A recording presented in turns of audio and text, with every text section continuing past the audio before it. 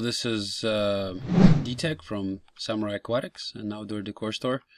And we're in the last video we prepared uh, we prepared this uh, bench for basically finishing it up. So now what you can do is uh, when you go to shading or in your layout tab, you delete one of the materials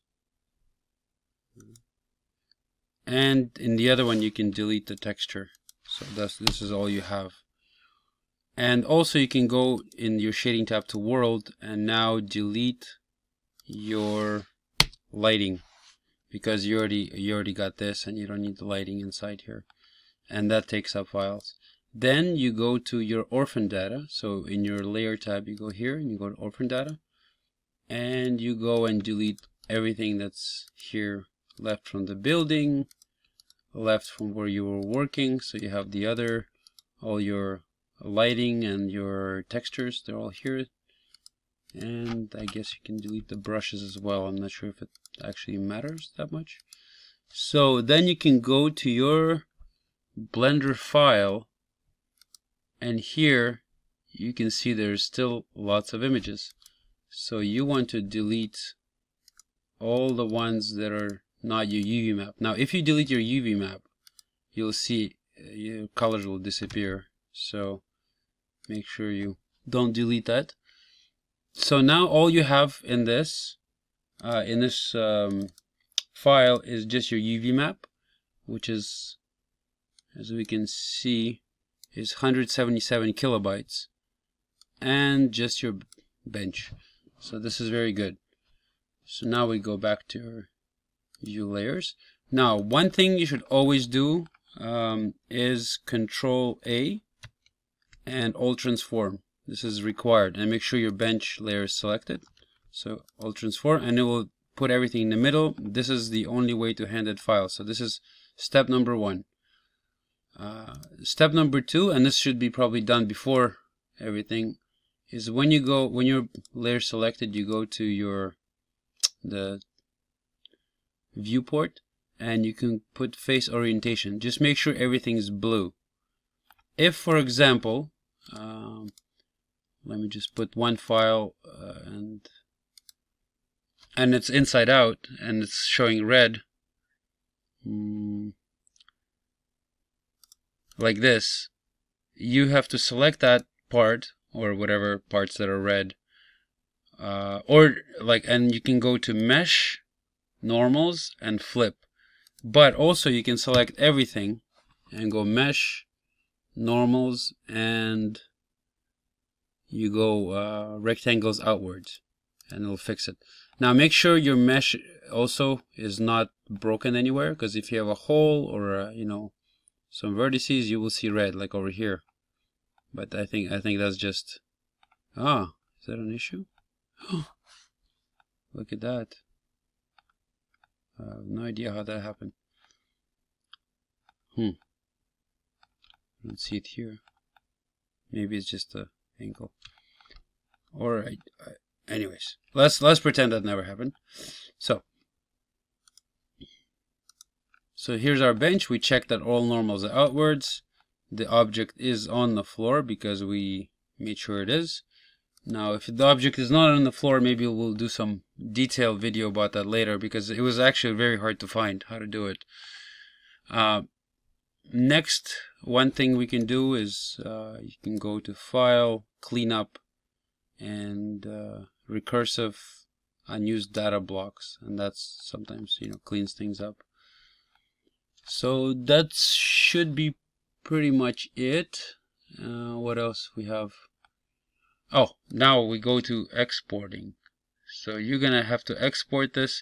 Make sure, again, external data, make sure this is on. You need to have this on and save the file. And this will be your uh, ready file. So now you can click these off. Like, for example, I sometimes put an X next to the files that are not finished yet.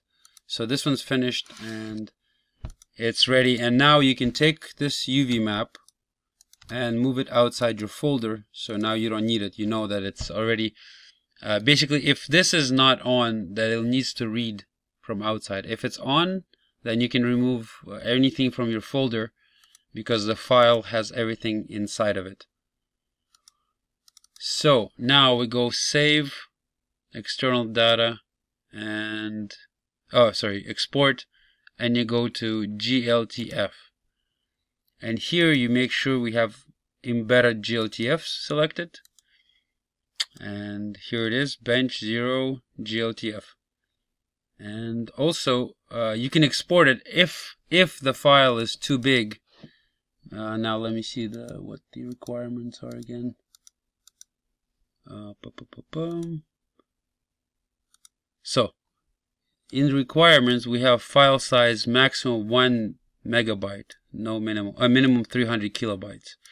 So if your file size is too small you can always take your um, take your um, UV map and you know in Photoshop or somewhere and save it or resave it here uh, rebake it and save it as, as, a higher quality. That's easy. Uh, and lower let's just see what happens so we export it and here's the file uh, why isn't it opening okay so here's the file and it's 336 kilobytes. Perfect. Just like magic. Okay, so now we have this file, we can upload it and we have to do the same process for each one of the other ones and make sure we're in the requirements.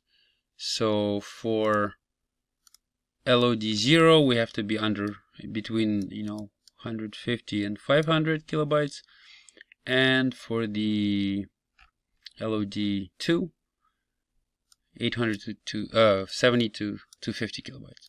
So, so now another thing you have to do for before you hand it in is you have to give in dimensions.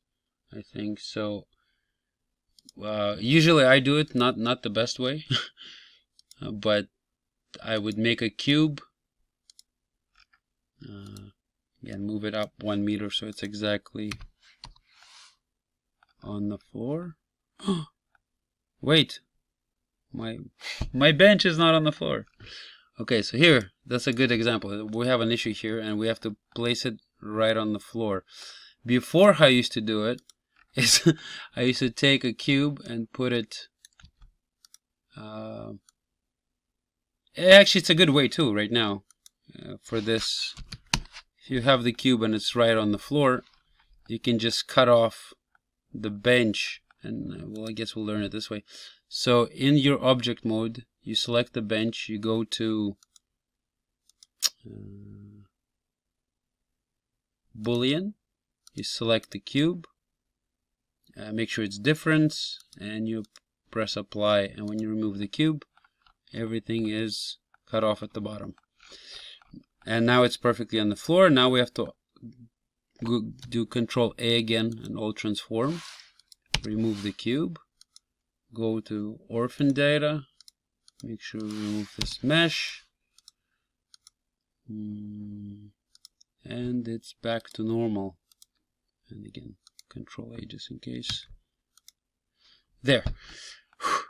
So now the file is over. We have to ex export it again. And you have the file. And usually I go and I check again everything. Even after I save it. I would go to shading and make sure in my object tab the texture is uh, roughness 1 and everything how it should be. So I guess that's that, unless I forgot something. Uh, let me know if you have any questions. And uh, please remember this is my first ever tutorial and I might have mixed up some words, so please don't don't get don't get too frustrated with me. Thank you.